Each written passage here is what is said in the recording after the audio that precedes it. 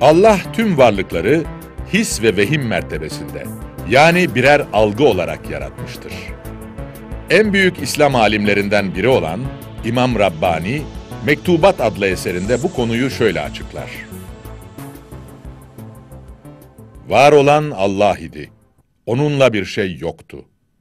Ne zaman ki saklı kemalatının, mükemmelliğinin açığa çıkmasını istedi, isimlerinden her birine bir görünme yeri talep etti.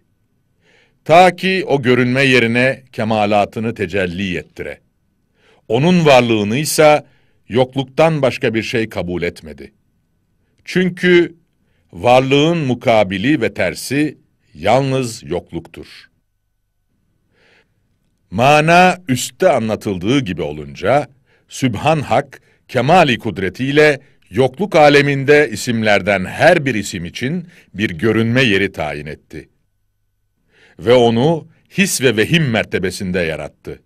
Hem de dilediği vakitte ve istediği şekilde. Alemin sabitliği his ve vehim mertebesindedir.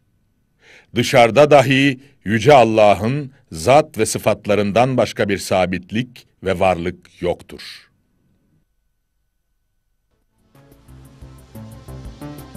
İmam Rabbani'nin bildirdiğine göre vehim mertebesindeki yani algı düzeyinde alemin dışında sadece Allah vardır. İmam Rabbani eşyanın yani tüm maddelerin algı dışında bir varlığı olmadığını ise şöyle anlatır. Hariçte yüce Allah'tan başka bir varlık mevcut değildir. Belki de şanı büyük Allah'ın yaratmasıyla vehim mertebesinde sabitlik bulmuşlardır.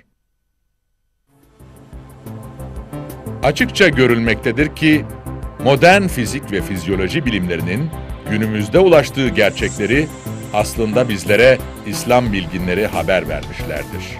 Üstelik asırlar öncesinden. Madde bir hayaldir. Asıl olansa maddeyi yoktan var eden Yüce Allah'tır.